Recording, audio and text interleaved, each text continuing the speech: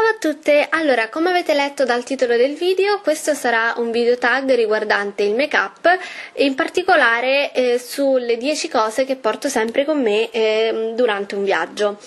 Allora, la prima cosa che porto sempre con me quando viaggio è una matita nera resistente all'acqua e da tanti anni utilizzo questa qui della Deborah, la 01 Waterproof.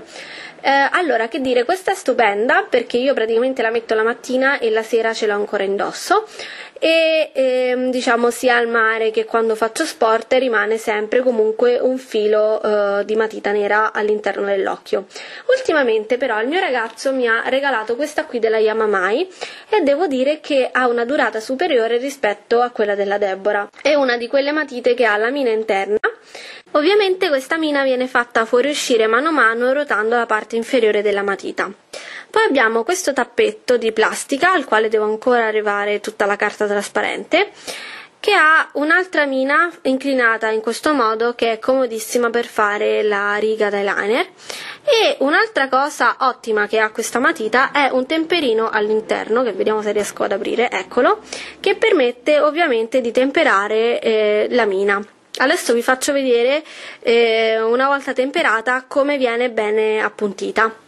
Allora, eccomi qui, come potete vedere ho temperato la mina e mm, vi assicuro che è una cosa veramente veramente pratica, anche perché se uno va un secondo in bagno, prende e si deve truccare, ha il temperino già a portata di mano, senza bisogno comunque di cercarlo nella borsa, eccetera.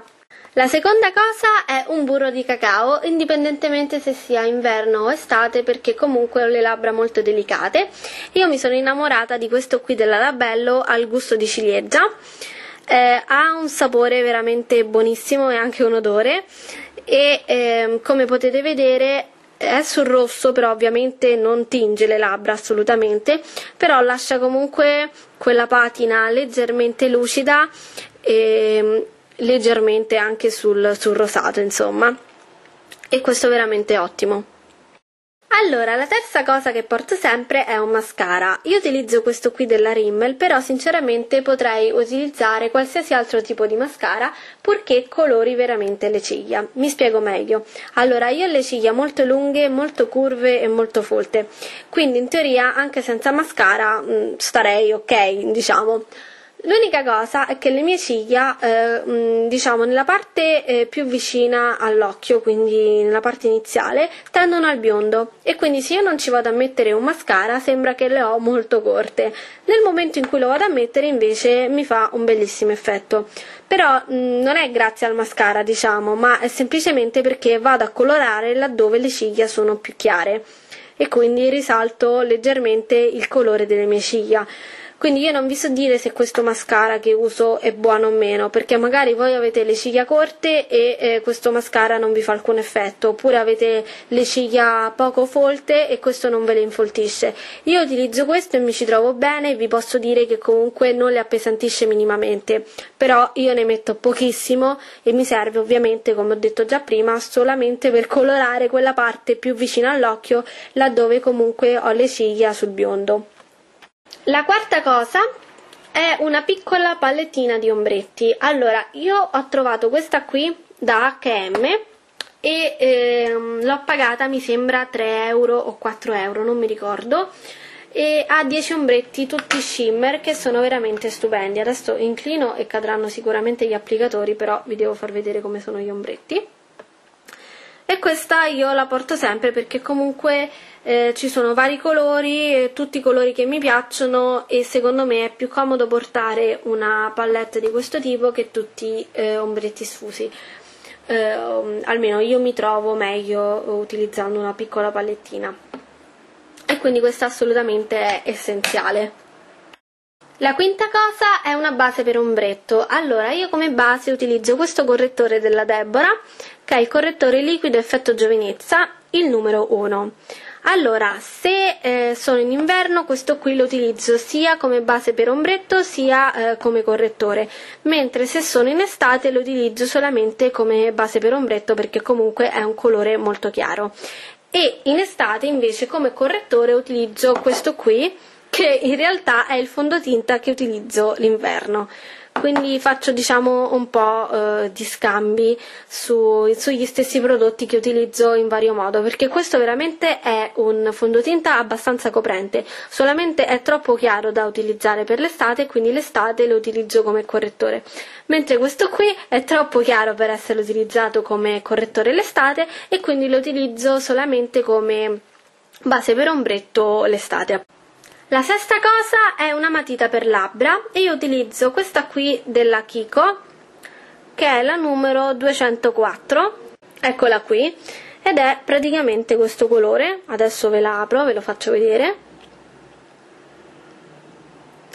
e io non sono una persona che utilizza rossetti, li utilizzo veramente raramente e quindi quando devo mettermi qualcosa sulle labbra preferisco mettermi una bella matita e poi un, un lucida labbra, insomma, quindi questa qui eh, è una cosa che porto sempre.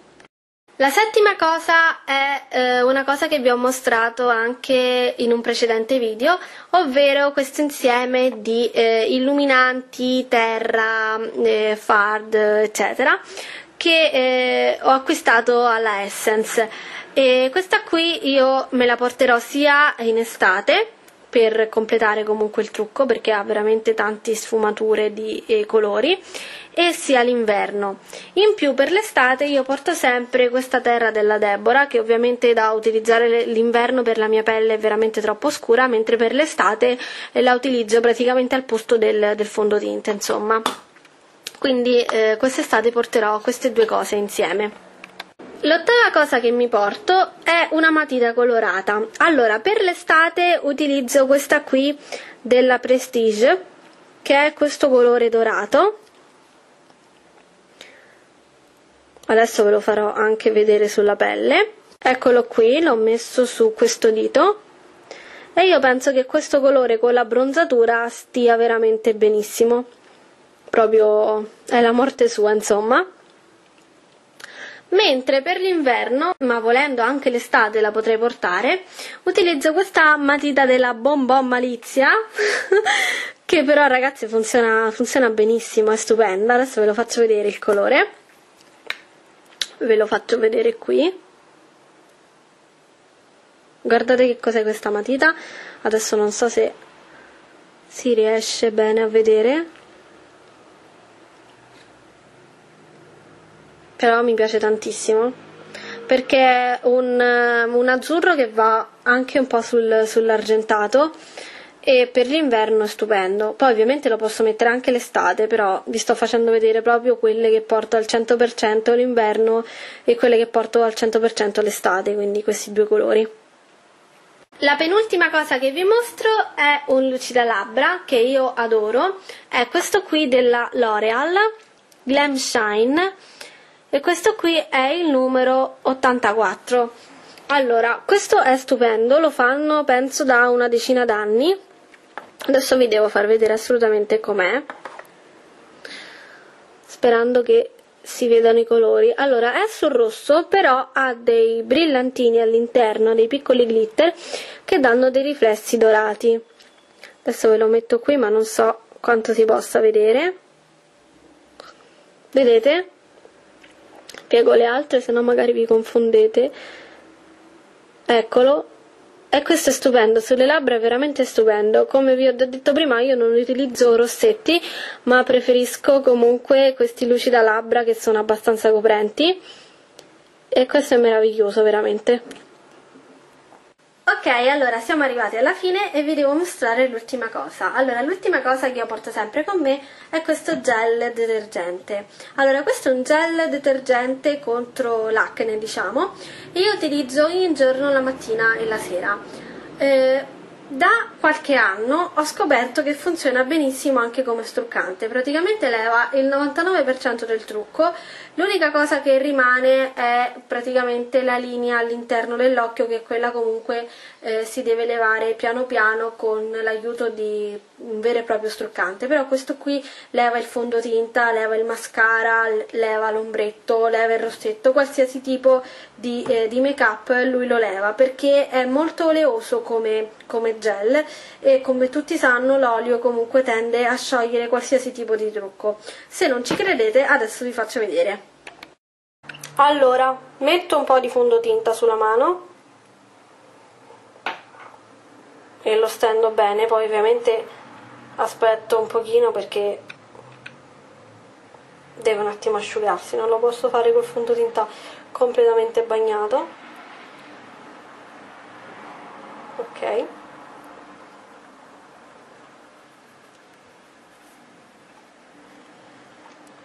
L'ho messo non so quanto si possa vedere.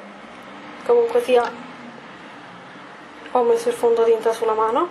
Così vedete anche la coprenza. Ecco qui. Adesso apro l'acqua ce l'ho anche sul dito e ci passo sopra con l'acqua qui vedete anche la resistenza all'acqua di questo fondotinta allora il fondotinta come potete vedere è rimasto sia sul dito che sulla mano. Non so quanto si possa vedere però ci sta. Forse sul dito si vede di più ci sta ancora. Non, non si è elevato sta qui. Vedete si vede perché la pelle ha un riflesso diverso rispetto alle dita. Vedete ci ho messo comunque tantissima acqua niente. Adesso ci vado a mettere questo. Una goccia adesso diventerà tutta marrone la cremina che ho messo. Guardate perché si sta sciogliendo il fondotinta. Vedete? Adesso ci metto l'acqua